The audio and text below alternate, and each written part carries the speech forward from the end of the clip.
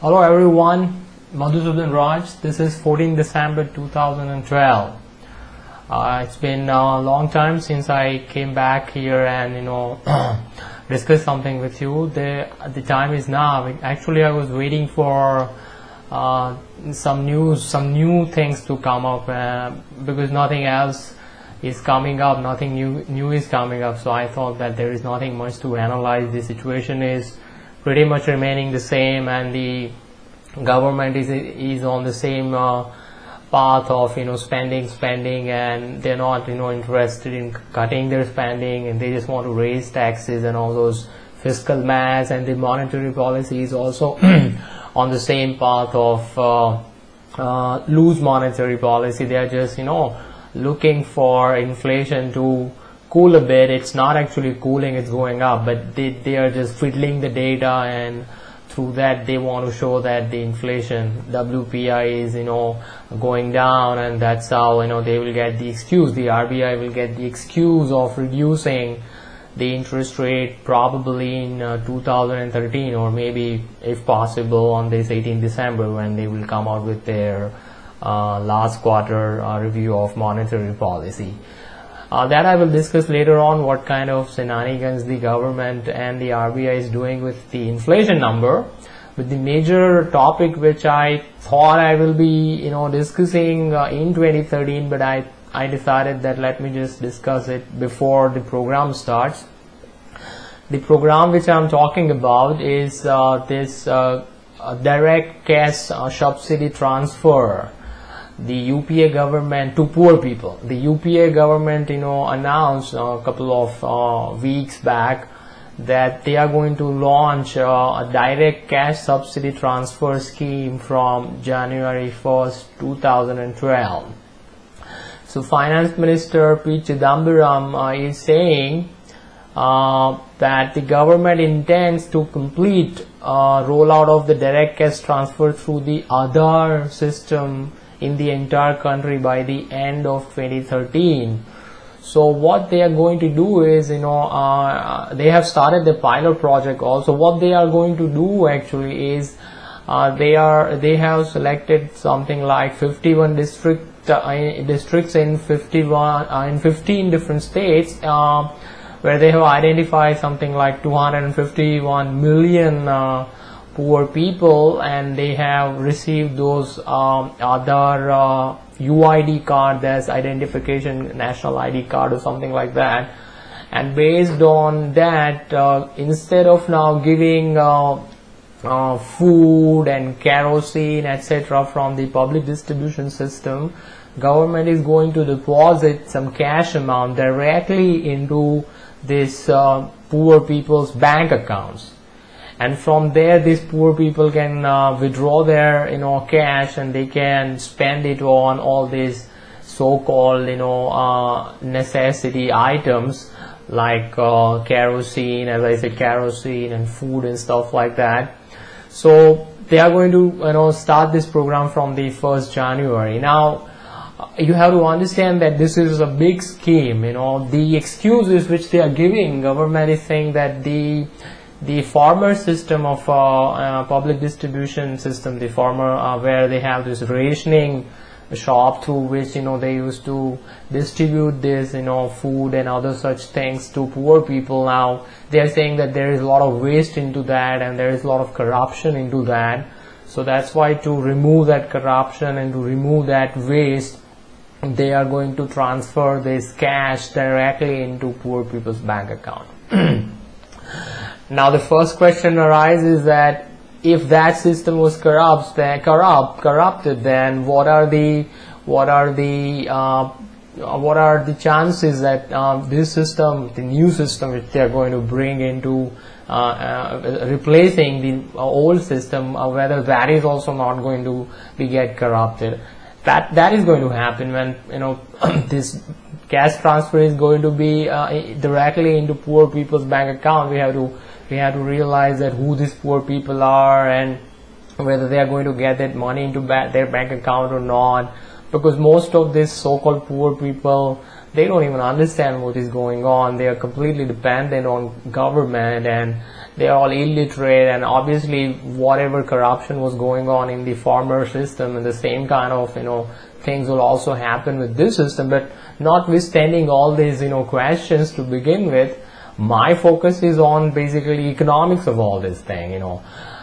Now again, you understand, you know, that this direct cash transfer is nothing but inflation right giving cash uh, free cash money this you know rupee note whatever they are going to transfer in this you know poor people's bank accounts is is it's not wealth you know we have to understand you know nowadays uh, you know we are living in a world where people have this you know misconception in their mind uh, which has been perpetrated by the mainstream economists and you know media pundits and you know these state officials bureaucrats and politicians that uh, money is wealth you know this and not only you know if gold and silver was there then that was you know kind of you know a different uh, a situation where you can say that you know it is kind of an asset but this pure paper money is wealth you know it represents some kind of wealth but but you have to understand that it's not wealth. You know money can never be wealth. Money is just a medium of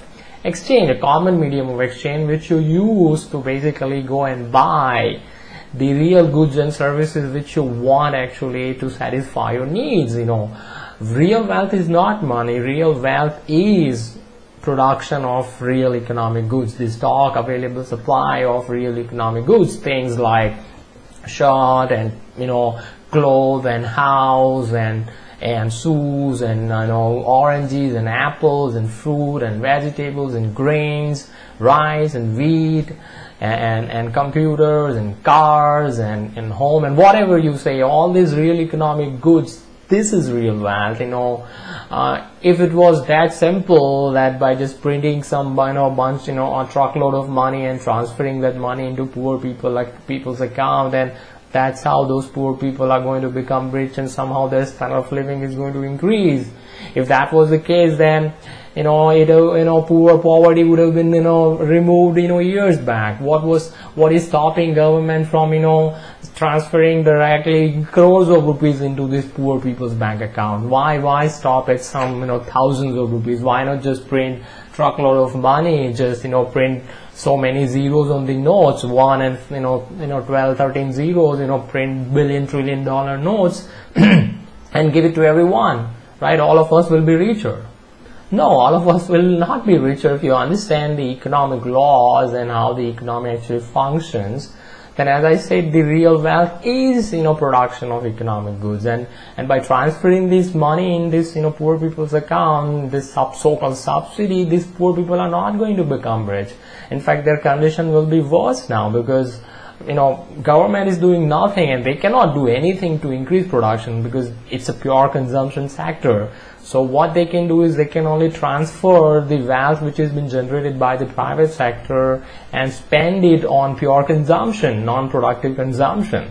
So when they are going to transfer this money, you know, when, when they are going to give this money to these poor people, what they will do, they will go in the market and they will try to buy the you know supply of goods and services. For example, they will go and try to buy wheat. They will try and go to buy kerosene. They will try and buy uh, uh, sugar, for example. But on one side they have these notes in their hand but the, on the other side the supply of all these goods has not increased and the only effect this cash transfer is going to have you know over a period of time is the price of all these real economic goods kerosene and oil and kerosene and petrol and, and sugar and, and wheat and rice and whatever they are whatever these poor people are going to buy the prices of all these you know economic goods will increase so they are creating inflation right now, you know, you know, which you know whose effect you will see in future, you know, in terms of higher prices. So these poor people are not going to become rich simply by getting this, you know, free, you know, subsidy cash subsidy transfer. What government is doing is they are making them more poor and that's what they want you know. A UPA government is you know in trouble right now and what they what they are actually eyeing for is uh, more and more votes. They are just buying votes you know these poor people they don't understand that this cash transfer is actually harming them So as I said, this cash transfer is not going to help anyone. All these subsidies are just destroying our economy. It is burden. Best way to you know remove poverty and live the standard of living all these poor people is is to allow the free market to function you know is, is to give liberty to people. You know when free market will be there we will have a sound monetary system we will have a gold standard so and on the other side because there will be no government interference into into the economy economy will be producing more and more real economic goods. And on the other side because the money supply is stable the prices will continuously fall. They will of, course not reach zero, that can never happen, but the secular trend of prices in the free market economy is always downward. And when the prices will be lower, people will not have to earn more and more. Whatever, you know, nominal earning they will have, whatever nominal income they will have, their real, you know, their purchasing power will increase. Whatever, you know, you know, gold coins they will have, for example, in their hand, it will buy more for them. So, you know, without, you know, running after this so-called, you know, you know, money, what they call wealth, you know, uh, falsely, people will be, you know, uh, richer when the economy is producing more real wealth. That means supply or production of actual goods and services. So that is the way in which how we are going to lift these poor people out of poverty and not by transferring free cash money or currency notes into their account. So this is just pure politics and it has nothing to do with you know helping anybody. The politicians are just helping themselves, you know, they just want to remain in power. So that's why fooling everyone. That's why they're fooling everyone. And and this is as I said, this is not going to help anyone. The already the inflation that means the money supply printing is very high and because of that the fact the price rise is also very high and when this cash you know subsidy will you know start from 1st January you can just imagine where the prices will go. Prices will definitely rise. This is going to devastate the Indian economy. So these politicians are just destroying the wealth which you know private sector the hardworking productive class of the Indian you know society is producing. They are consuming everything in a non-productive way. They can only consuming it in a non-productive way. They can never do that in a productive way so you know this is this is the worst thing, and and on the other side, uh, government you know economic advisor Rangarajan is saying that no use fighting food subsidy. Food subsidy is important in a country like India, and there is no use fighting it. Yeah, so they are just happy with the status quo. They do not want to change the status quo. They want poor people to remain poor so that they can use them as their vote bank they never want that these poor people really become rich because once they are rich they will no longer uh, need any bureaucrat and politicians to run their life.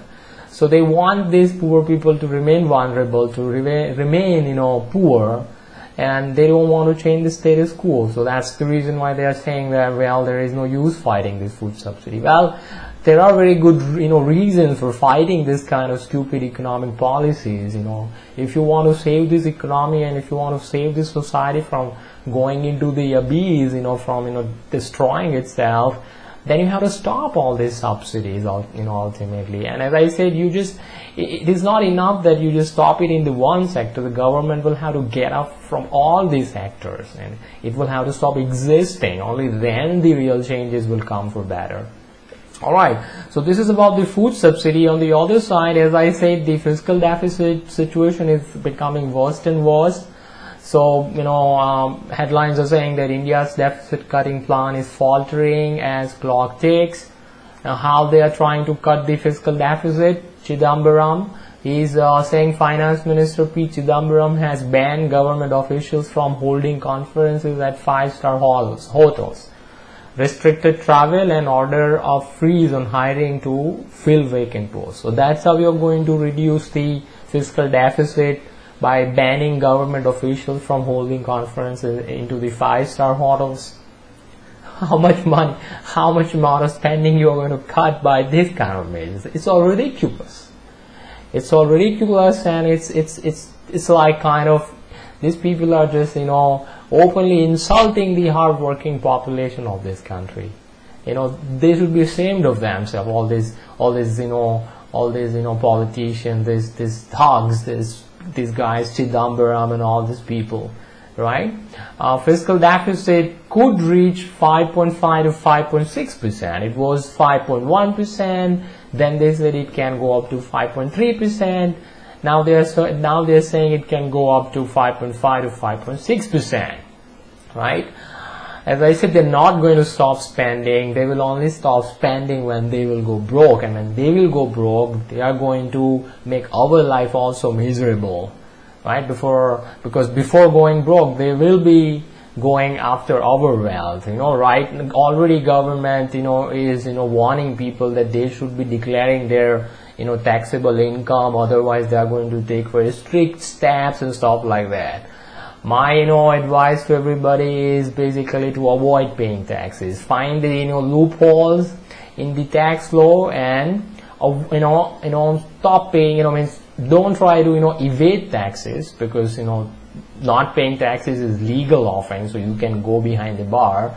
What you have to do is avoid paying taxes you know by using legal ways find the loopholes and use them don't give your money to this you know uh, you know uh, scumbag politicians don't give it to them you know these are parasites don't feed the monster right you know starve the beast right you know finance minister seeks house note for 32,000 crore additional spending. See, so they are just spending. They don't care about the fiscal deficit. All right. And as I said in the beginning of my uh, this you know video blog that uh, they are desperate for RBI and government is desperate for reducing the interest rate because the growth numbers are faltering. It is you know right now 5.1 or 5.3 percent, something like that.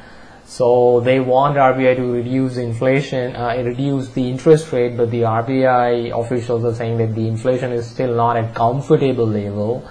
Uh, they want it to come down. So the government, statisticians, and economists are trying every bit hard to bring down that number on paper. So just today, November WPI inflation uh, data was released, and it eased to 7.20 4%. It was 7.6%. It was expected. Uh, uh, for September was revised to 8.7% from 7.81% and uh, now it is you know they're saying it came down to 7.24% again you cannot measure this price rise and everything by using this kind of phony index numbers like WPI but even there, you know, on the other date, in other news was saying that the retail inflation, you know, so-called, you know, what they call CPI, uh, rose to 9.9% in November. So on the one side, retail inflation is rising to 9.9% in the same month, November, and today they are saying that in the same month, November, the WPI, the wholesale price index, uh, is to 7.24 percent. You see, in the same month, inflation can go up also and it can go down also. so this is pure shenanigans. This is all purely, you know, fooling people by using statistics. You know, statistics is, you know, damn lies, lies, and statistics. So it's lie, right? Government uses it uh, to fool people. But in any case, as I said, they are desperate, so they will show that the inflation has eased, and very surely they will reduce the you know interest rate. RBI will reduce the interest rate uh, in uh, in 20, 20 and in 2013 or probably on this 18 December itself. And as I said, the inflation is not going to slow down, and they will continue to inflate, and I, am sure the prices will continue to rise in future also. So nothing has changed. Uh, situation remains the same. Uh, the train wreck is coming and I think uh, government is not going to do anything different from they're just going to play inside the status quo and uh, we will have to continue to protect ourselves because uh, you know uh, as I as I'm saying since quite a long time that government voluntarily will not stop giving up their power and they will not do the right thing which is required in today's time. Ultimately market forces will compel them to do whatever is necessary but till that time you know uh, we will have to survive you and i you know my dear viewer we will have to survive So continue the survival strategies, you know, try to protect your wealth from government inflation. Continue to accumulate your, you know, precious metals and be very careful and take care yourself, you know. I'll be seeing you pretty soon, maybe after they announce the monetary policy review uh, on 18 December. Uh, so thank you very much for watching me and goodbye for now.